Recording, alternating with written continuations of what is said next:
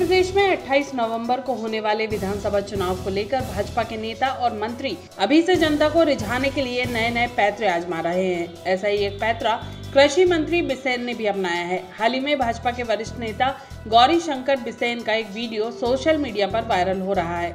हालाँकि हम इस वीडियो की पुष्टि नहीं करते, लेकिन वीडियो में वो अपने विधानसभा क्षेत्र की महिलाओं के लिए 30 लाख रुपए की दस हज़ार साड़ियाँ मंगवा रहे हैं। गौरी शंकर बिसेन इस वीडियो में ये भी कह रहे हैं कि मुख्यमंत्री शिवराज सिंह चौहान के रहते वो मुख्यमंत्री नहीं बन सकते, इसलिए वो सांसद का चुनाव लड़ेंगे और केंद्र में कृषि मंत्रालय के मंत्री बनेंगे। केंद्रीय कृषि मंत्री बनने के लिए वो प्रधानमंत्री नरेंद्र मोदी से 100 करोड़ रुपए में ठेका भी करेंगे।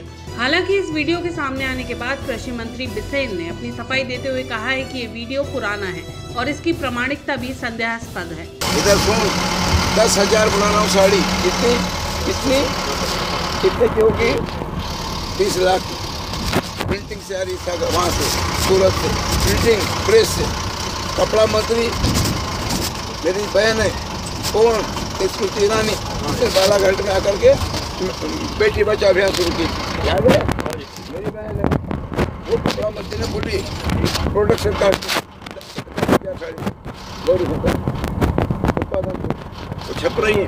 और दस हज़ार साड़ी लाल बना के वो जो बनाया ना आनंदम वहाँ से पाँच पंचायत बटे।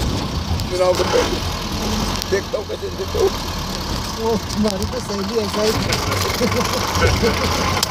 मैं मुख्यमंत्री बन नहीं सकता शिवराज हटता नहीं नहीं हटता नाम हटाते। तो उसके बराबर में कब जाएँगे? जब पंद्रह भरा देंगे। भारत सरकार के मंत्री में कैबिनेट मंत्री ये पहले ठेका होगा नरेंद्र मोदी से तब लड़ूँगा वो ठेका राजनीति तो प्रभाव तो लड़ूँगा नहीं बनने तो मैं नहीं लड़ूँगा सौ करोड़ रुपये लगेगा, सौ करोड़। सब पर को करेंगे रही है बैठ